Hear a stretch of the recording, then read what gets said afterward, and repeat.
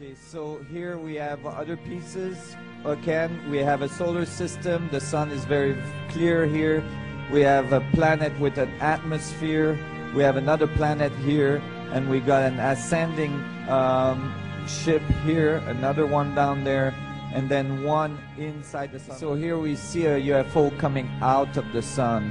Uh, it's very specific. Uh, I, as you will see in my conference, I'm going to show you the mathematics and the reason why um, it may be appropriate to think of the sun as a doorway to travel through our solar, uh, through our galaxy, and even in our universe. And the ancient people always called it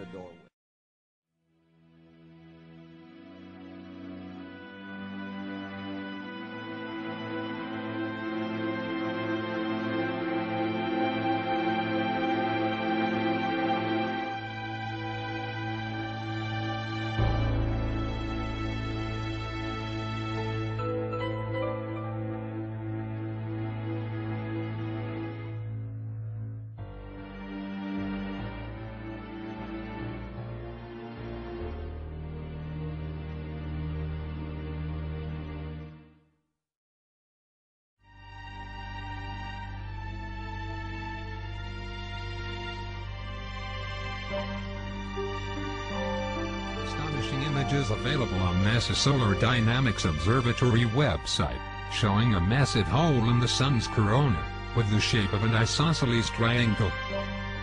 These are high-resolution images of solar activity between March 11th and March 13th, taken by the SDO spacecraft.